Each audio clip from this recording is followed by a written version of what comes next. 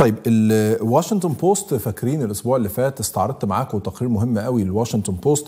كان بيتكلم على تسريبات لوثائق إن السيسي بيحاول يصنع 40 ألف قذيفه مدفع أو صاروخ لروسيا وإنه في مشاكل كبيرة وكلام زي كده. وبعد ما نشرنا الوثيقة قامت الدنيا والناس قعدت تتكلم وتشتم واشنطن بوست وأنتوا إزاي؟ فيوم أول امبارح إيفن هيل الصحفي في واشنطن بوست يحصل على عدد آخر من التسريبات أو الوثائق المسربة وينشرها في نفس الموقع. الواشنطن بوست بيقول إيه بقى؟ بيقول لك إن الصفقة اللي كانت مصر هتعملها لروسيا تعالوا نشوف كده الصورة مع بعض اتحولت بضغط أمريكي لتسليح أوكرانيا. بدلا من أن تزود مصر روسيا بالصواريخ وافقت على تسليح أوكرانيا. أوقفت مصر خطة لتزويد روسيا بالصواريخ سرا الشهر الماضي بعد محادثات مع كبار المسؤولين الأمريكيين.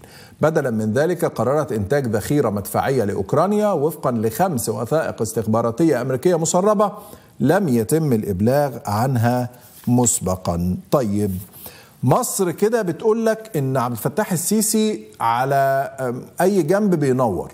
يعني روسيا عايزة منه صواريخ يلا نعمل روسيا ويقول لمحمد صلاح الدين وزير الإنتاج الحربي بس اوعى الغرب ياخد باله. بعدين أمريكا تعرف وتتصنط عليه وتعرف الكلام فتروح تشد ودنه فتقول له لا مش هتدي لروسيا. فيقول لها طب خلاص أعمل إيه؟ قالوا له لا تعمل الكلام لأوكرانيا. يقول لهم خلاص أنا هدي لأوكرانيا بس ناخد منكم مصلحة. فيبدأوا يتفقوا على المصلحة. تعالوا نشوف مع بعض التفاصيل لوثائق مسربة من واشنطن بوست عن إن السيسي غير مسار صفقة سلاح من مصر لروسيا. خلاها مصر أوكرانيا بعد ما أمريكا مسكته وضغطت عليه.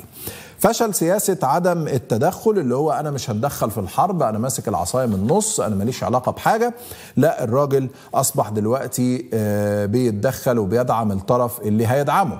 النقطة الثانية هي أن السيسي تحت المراقبة. الأخبار اللي في الوثائق دي بتقول أنه تم التنصت على مكالمات أو على محادثات لعبد الفتاح السيسي وشعر بأنه مراقب بعد لقائه بمسؤول أمريكي وتحذيره لوزير دفاعه كمان تم رصده. بشكل كبير.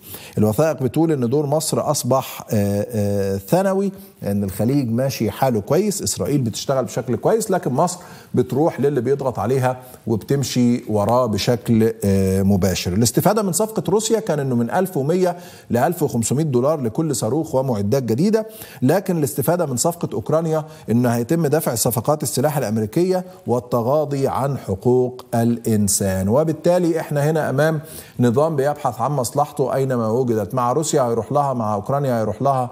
الولايات المتحدة تضغط عليه هيروح لها. طيب إيه التحليلات اللي نشرت عن هذا التسريب؟ إيه الكلام اللي قيل داخل تحقيق الواشنطن بوست عن هذه الوثائق؟ تعالوا نشوف. الانتقام الأمريكي والأوروبي سيكون قاسي لو كان السيسي راح لروسيا بشكل مباشر. كان هيكون له تبعات كبيرة على الاقتصاد المصري المتزعزع ومصر معتمدة بشدة على روسيا في توفير القمح لكن مش عارفين بعد تغيير مسار الصفقة روسيا هتتصرف إزاي على مصر. كمان التحليلات بتقول إنه عملية التوازن ما بين دعم روسيا ودعم أوكرانيا بالنسبة لمصر هو أمر صعب جدا جدا. مصر كانت قوة تاريخيا جيوسياسية لها تأثير كبير في العالم العربي والشرق الأوسط وإفريقيا لكن للأسف التحديات الاقتصادية والأمنية جعلتها قوة ضعيفة للغاية وتعتمد على قوة خارجية للمساعدة والدعم وده أفقد مصر توازنها وأفقد مصر ثقلها الإقليمي بشكل كبير وده يمكن واضح قوي في قصة السودان. المكسب الوحيد اللي نظام السيسي ممكن يحصل عليه إيه هو؟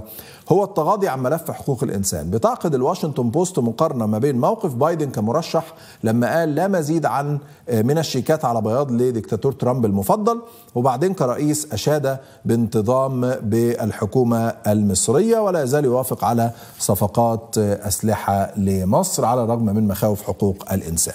الخلاصة يا عمي انه عبد الفتاح السيسي مع من يدفع أكثر. أنا هدفع أروح لروسيا لأنها بتدفع لي، أمريكا هتعرف هتقول لي ما تروحش وهنديك هيروح لأمريكا وهياخد منها. السعودية عايزاه يعمل لها كذا عشان تديله فلوس هيعمل السعودية اللي هي عايزاه. الإمارات عايزة مش عارف إيه هيعمل الإمارات اللي هي عايزاه. ليس هو يعني مش كده الأمور بتدار يا عبد الفتاح السيسي. مصر أكبر من ده يا جماعة. مصر مش سمسار عقارات. مصر مصر مش مقاول أنفار.